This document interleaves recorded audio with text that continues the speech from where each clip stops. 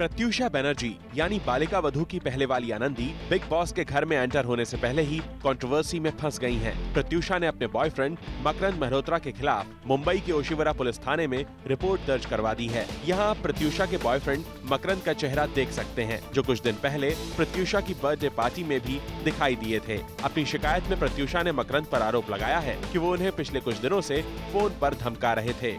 गालियाँ दे रहे थे और अब बात उनकी फैमिली पर भी आ चुकी है। मकरंद ने प्रत्युषा के घर में घुसकर उनके और उनकी फैमिली के साथ बदतमीजी की, गालियाँ दी, जिसके बाद प्रत्युषा ने पुलिस में अपनी रिपोर्ट दर्ज करवा दी है। प्रत्युषा इन दिनों मकरंद के साथ नहीं, बल्कि किसी और के साथ रिलेशनशिप में है। और जब ये भनक उनके बॉयफ्रेंड मकरंद को लगी तो वो प्रत्युषा से झगड़ने के लिए उनके घर पहुँच गए, जहाँ उनके पापा को दोनों के बीच बीच बचाव कराना पड़ा। उम्मीद है प्रत्युषा जल्द ही अपने नए बॉयफ्रेंड के साथ मीडिया के सामने आएँगी, तभी इस झगड़े की असली वजह का सबको पता चल जाएगा।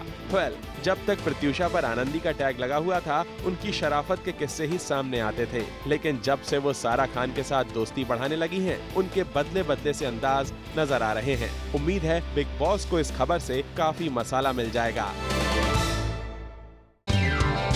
To watch more, subscribe to youtube.com slash teletalkindia.